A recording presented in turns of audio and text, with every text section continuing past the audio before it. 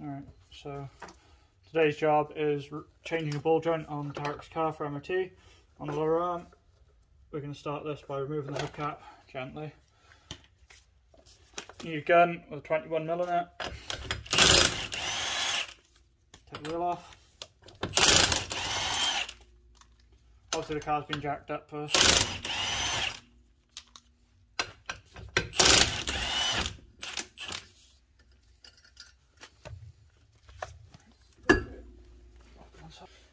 The first bolt, you're going to need a 19mm socket and a 19mm spanner. 19mm spanner goes on the nut, like so, and 19mm socket goes on the front of the bolt.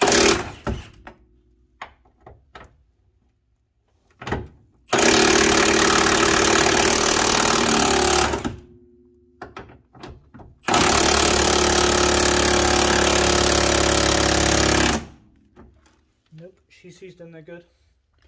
So we take the wheel off and discovered that the front pin bush on the lower arm, the bolt has welded itself into it. So the only thing you can really do at this point is cut it out. So probably going to put a time lapse of me cutting this entire lower arm off.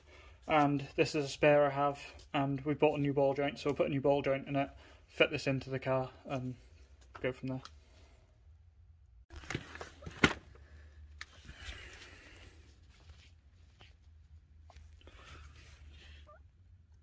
These two bolts at the back I'm going to do in the conventional manner and the one for the ball joint itself will also come out in the normal manner but what I'll do is I'll cut the lower arm off uh, across here with a reciprocating saw and then get in here with a grinder and basically two uh, ends of the bolts will fall out and then I'll just put a new bolt through. I have spares.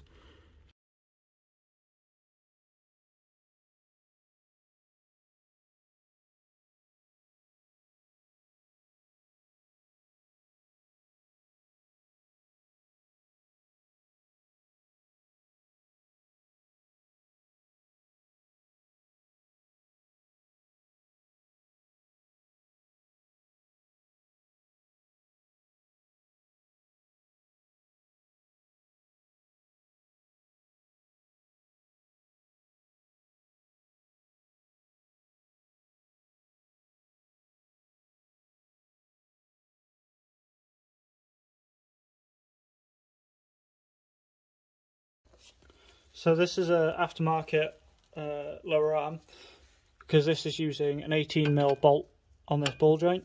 Um, this isn't unheard of, but it's not the original, so it's not ideal. Um, these can be a bit of a pain to get out. Um, obviously you can't get in there, so what I'm going to have to do is to remove the two bolts up there, the two 17s, uh, pop the drive shaft hub nut out and pull the drive shaft out away and then get an 18 spanner onto it properly on the ring end. It's a lot, uh, lot safer to do it that way, otherwise you're sort of putting your entire body weight onto the knuckle. So that's what I'm going to do now. And I'm going to remove the clip that holds the brake pipe on,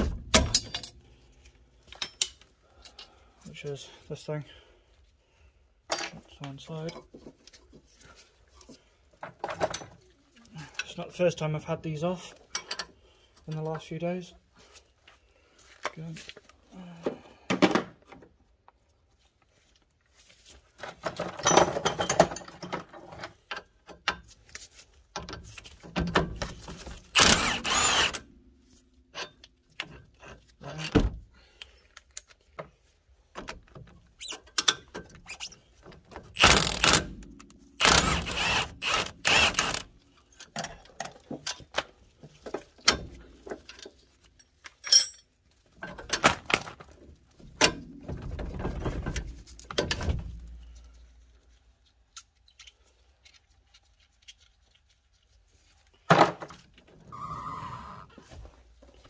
And there's also the split pin here.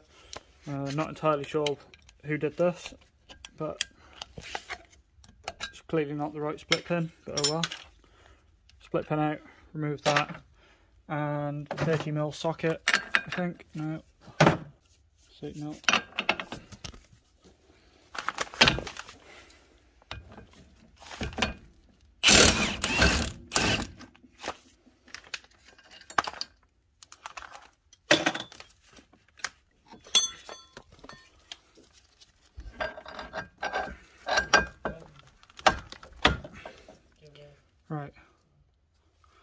This here is the nut that I'm trying to get undone by there. You can get an 18mm socket onto it with a extension bar if you're being a bit rough. Um, big ugga dugger. Like that.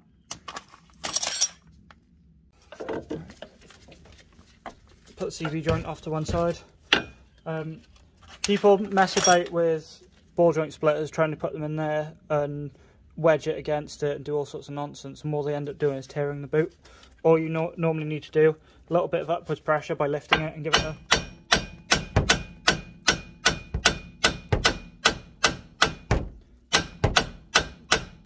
bit of a tap.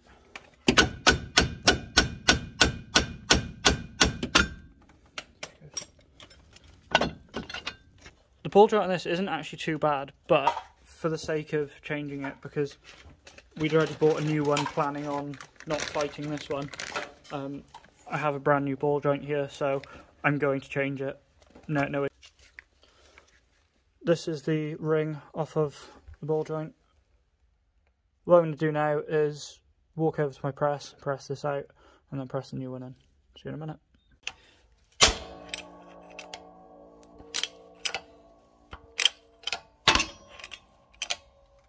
And that should be the...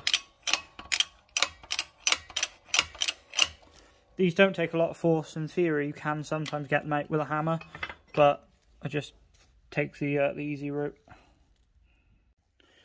Right, well, if you remove the dust cover, so you take the circlip off of the ball joint, pop it into there, shim on top of it and press them down.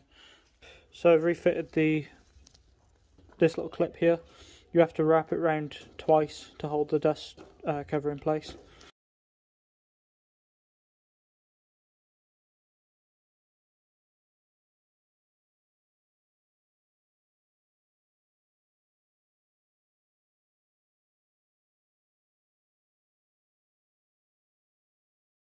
Just going to cut the remainder of this bolt out. Um, so because I can get the nut off, as long as I cut the head of the bolt off, I can just slide this out to one side. So that's what I'm going to do.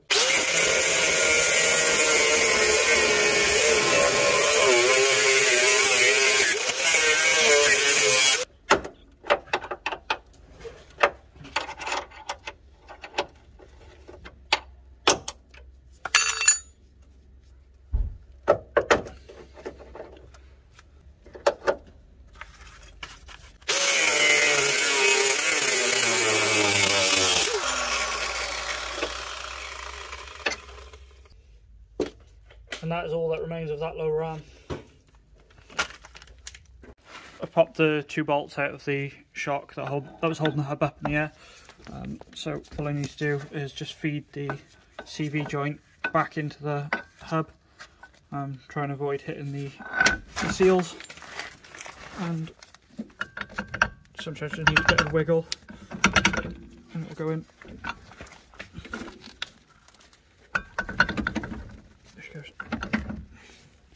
And then the washer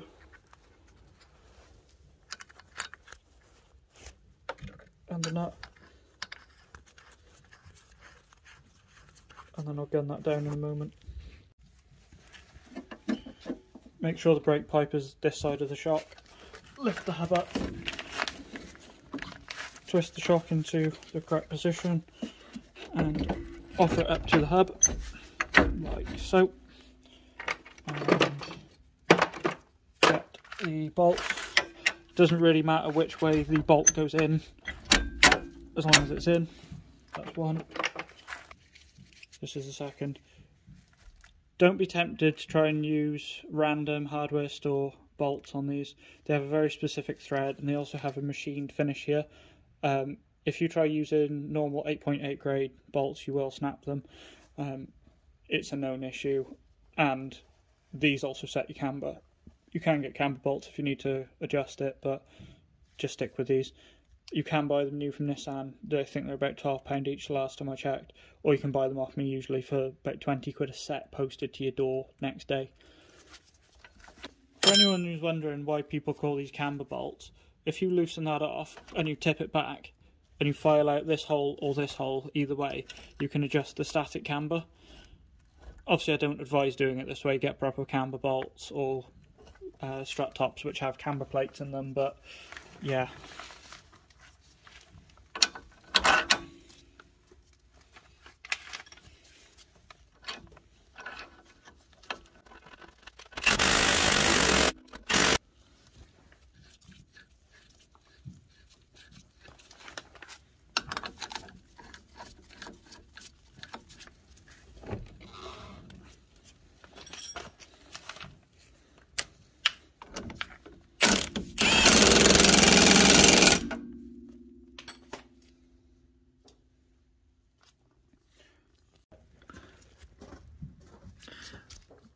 This bolt here and that bolt hole there this will sit into that dip with a bracket over it and two bolts.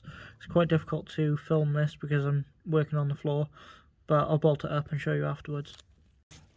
Just doing up the bolts on the back here. Always check the thread uh, condition on the bolts when they come out and when they go back in because if you're not careful you will strip the threads out of the car and that's going to be a bad day for everyone. As you can see as I'm tightening this down, pulling the, the bracket up into the car. Also make sure that this little nub here sits through the hole. If it doesn't, it will damage the bush. Ask me how I know. Alright, tightened up to FT.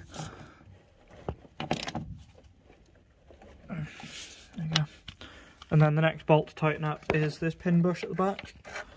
which is in here, that one there. And then one last tighten on this bolt here. And then on the hub nut. So this pretty much brings us to the end of a lower arm change. New bolt in there after having cut the old one out. Two two bolts put back in here, one of which I had to change because the thread was knackered. Bolt in the new ball joint, done up this, which I need to replace the cap and put a new split pin through it. And if I pull this round, this brake pipe, there is a flat on the top and a dimple on the bottom, and there is a matching piece in the bracket, which the flat piece sits into the flat and the dimple sits into the dimple, and then this clip here goes into the slot like so and just give him a bit of a tap with pretty much anything. Um, side of a spanner will, will do. And that's it. And that's how you change a lower arm.